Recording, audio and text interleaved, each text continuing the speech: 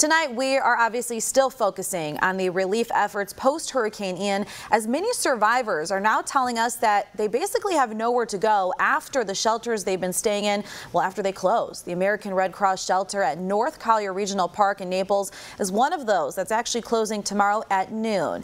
Let's bring in our Fox 4's Calvin Lewis. You went out to that shelter today, Calvin, and, you know, what's the feeling, you know, how are these people describing this to you about this news?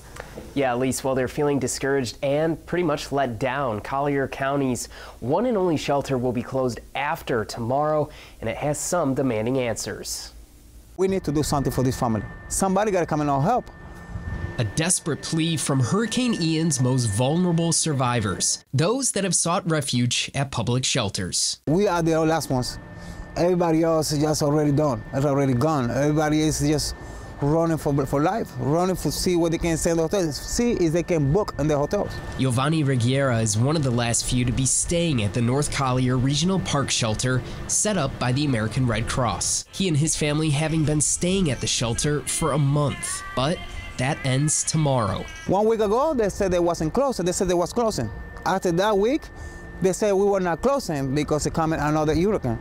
Now the hurricane came, and I don't know where. The next day they say, okay, Le Monde, this is closing. A troubling turn of events for those whose lives have already been turned upside down. Other shelters have opened in neighboring counties, that is to say, if you can even get in. They sent me to Fort Myers. Fort Myers, Lee County, the only one they are taking is a Lee County residence.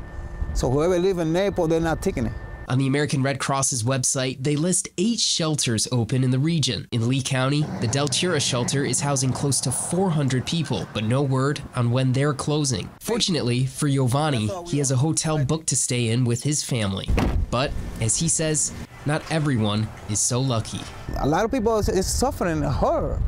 Eh, his families are there wounded. His family are there thinking, what's going to happen with us? Everybody's hurt.